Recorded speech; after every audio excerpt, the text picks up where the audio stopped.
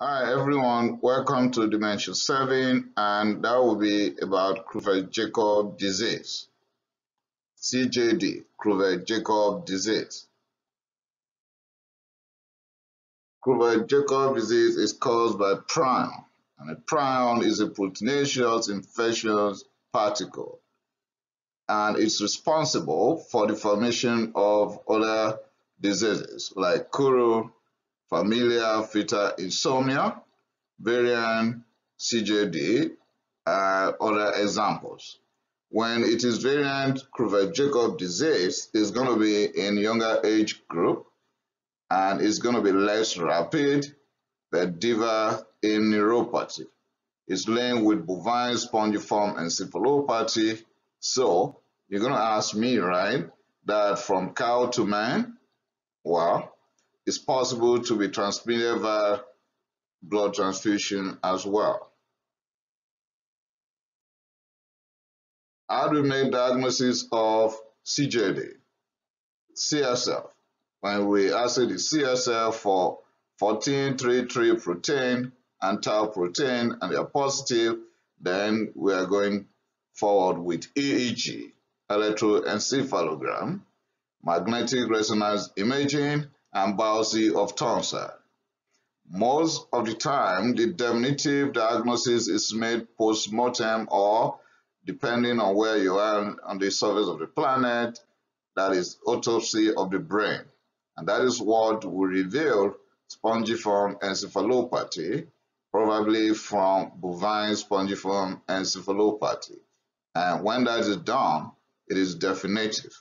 So the definitive diagnosis is made at autopsy or post-mortem, depending on where you are on the surface of the earth. What are the signs and symptoms? It's possible we have depression here. We can have anxiety, apathy, agitation, insomnia or hypersomnia, irritability, and delusion.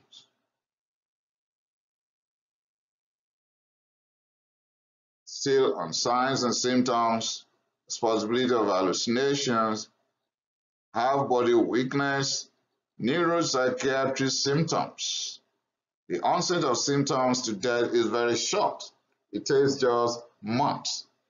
Most of the time, between 6 to 12 months from the onset of symptoms till the affected individual will be pronounced dead. There's possibility of ataxia and nystagmus. Still in signs and symptoms, possibility of myoclonus.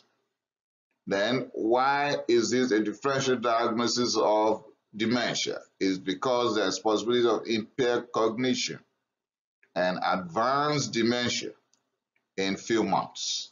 Advanced dementia in few months. Possibility of hyperreflexia and positive Babinski sign with extrapyramidal signs. The treatment here is mainly supportive and that will be mainly symptomatic. You can use benzodiazepines and anticonvulsants. Please no anticholinesterase here. That's why getting down to the differential diagnosis will help when you are dealing with dementia and you know the exact cause of the dementia in this individual. And here, Unlike Alzheimer's disease, here you cannot use anticholinesterase, just as the way you cannot use first generation antipsychotics like haloperidol in dementia with Lewy bodies. In conclusion, you can see that it is very vital to get correct diagnosis because CJD is CJD. It is not Alzheimer's disease. Correct diagnosis will help. Kindly subscribe to my channel so that you can get these presentations immediately they are published. Thank you.